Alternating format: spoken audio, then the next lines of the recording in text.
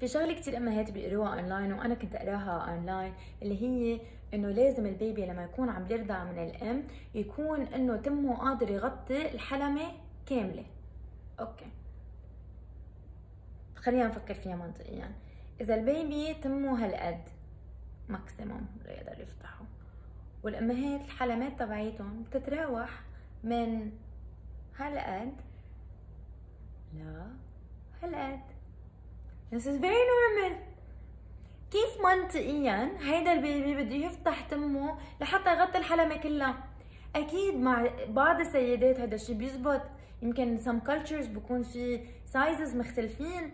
ولكن بالمنطق إذا الحلمة الأم كبيرة أكيد البيبي ما حيقدر يغطيها كلها. وهذا الشيء ابدا ما بيأثر على إذا كان البيبي عم يقدر ياخذ الكمية الكافية وعم بيرضع بطريقة صحيحة ولا لا. إذا طفلك عم يفتح تمه منيح 140 degrees ما عم بوجعك وهو عم يرضع وبس انغطى نص الحلمة خلال الرضاعة الطبيعية فكل شيء عم تقريه على الإنترنت is completely pointless. وإذا طفلك عم بزيد وزنه بطريقة منيحة في you don't have to worry. إذا الرضاعة الطبيعية تبعيتك منيحة ولا لا. وابدا بليز ما تقري هالقصص أو تقتنع بهالقصص أو تفكري إنه your baby has to cover your own your whole areola وغير هيك definitely ما تجربي to push ال areola بتم البيبي لأنه هذا الشيء طبعا حيعمل وجع.